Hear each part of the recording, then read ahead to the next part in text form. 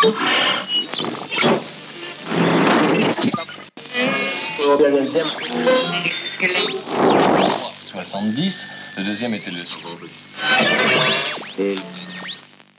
les coulisses du refus par Emmanuel Macron du mariage entre le mouvement Horizon d'Édouard Philippe et Agir, le micro-parti des élus dissidents de la droite dirigé par Franck Riester, on trouve la possibilité d'un château, les ambitions et haine recuite de la vieille droite, et l'ego d'un président.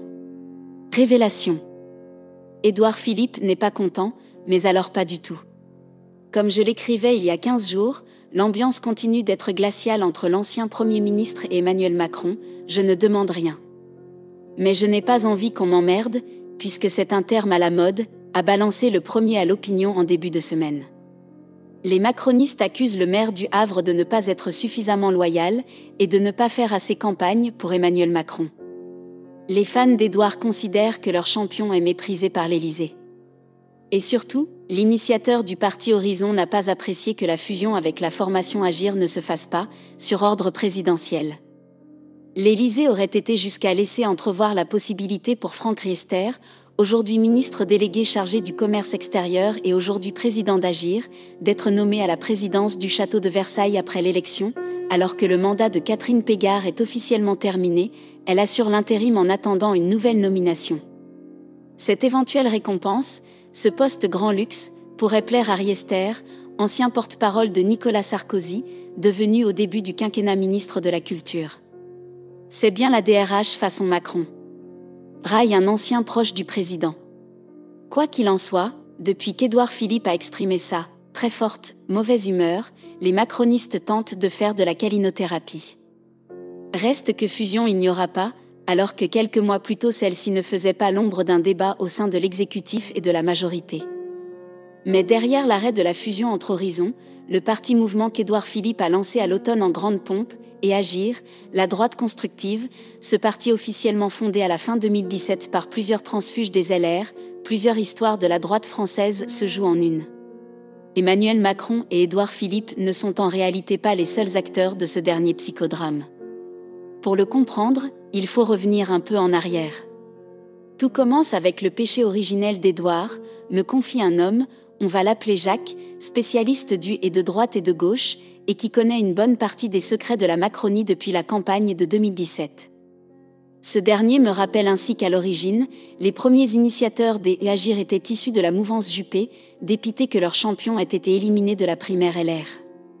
Ces derniers se sont vite réunis au cours de la campagne de 2017 et se sont mis dans la tête de proposer à Édouard Philippe, qui n'était pas encore le Premier ministre d'Emmanuel Macron, de fonder une maison potentielle.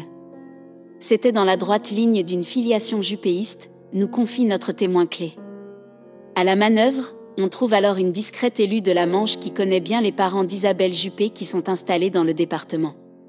Toutes ces bonnes volontés pensaient alors trouver leur place auprès du maire du Havre une fois sa nomination à Matignon actée. Sauf qu'Édouard Philippe commet l'erreur de n'accepter ni l'étiquette LREM, ni cette maison pourtant faite pour lui à la base. En fait, dès lors que Philippe refusait cette offre de service, le noyau initial d'Agir aurait dû s'arrêter là. Et pourtant, ils ont continué la construction de cette maison sans but ni réel chef. Le parti Agir est alors lancé à l'automne 2017. Cette formation est tellement gazeuse pour reprendre le terme d'un Jean-Luc Mélenchon, qu'il utilise pour qualifier la France insoumise, qu'il faudra plus de deux ans et demi pour qu'un groupe Agir se constitue à l'Assemblée nationale, les élus en question étaient jusqu'en 2020 rattachés au Modem. Cela se sait peu, mais justement François Bayrou et Édouard Philippe se détestent. Le second n'a jamais pardonné au premier d'avoir commencé à négocier avec Gérard Collomb son ralliement à Emmanuel Macron dès l'été 2016, alors que le maire de Pau soutenait officiellement à l'époque Alain Juppé. Et le Béarnais n'a alors pas du tout intérêt lors de la prochaine législature de se retrouver avec un groupe de centre droit plus important, en cas de fusion Agir Horizon, que son groupe Modem. Pour lui, c'est tout simplement un casus belli.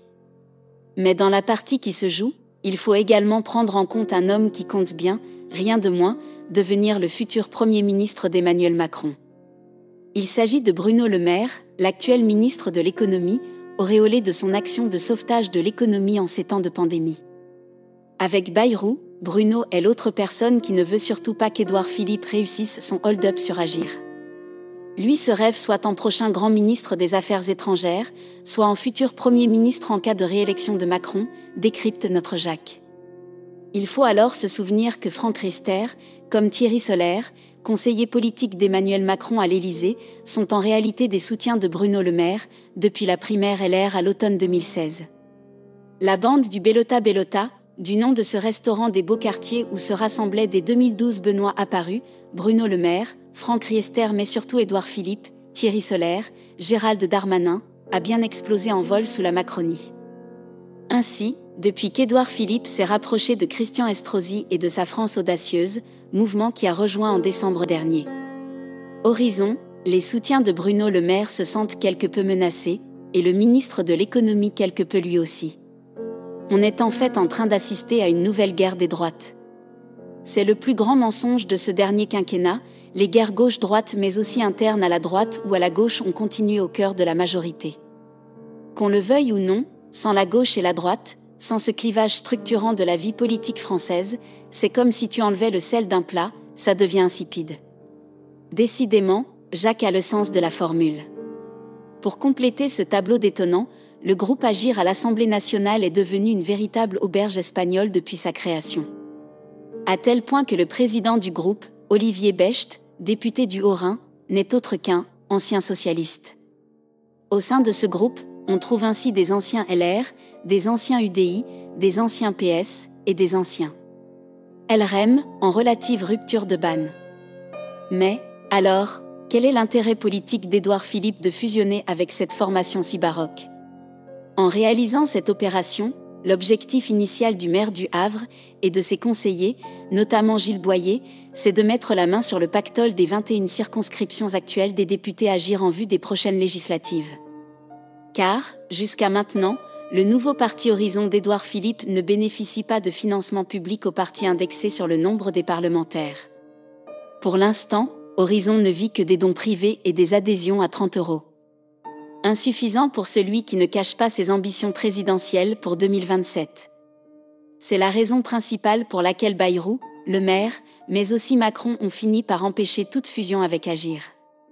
L'ego présidentiel ne peut pas supporter que dès le 25 avril, au lendemain du second tour, on sera en fait déjà en train de parler de 2027, surtout alors qu'Édouard Philippe lui faisait déjà de l'ombre quand il était à Matignon et que c'est pourquoi le président a décidé de s'en séparer, balance Jacques. En 2017, Emmanuel Macron avait un église, LREM, mais ne souhaitait pas de chapelle. Cinq ans plus tard, il n'a plus vraiment d'église, mais toujours pas de chapelle. En attendant, la maison commune censée rassembler toutes les forces de la future majorité n'est pas prête d'avoir des fondations solides.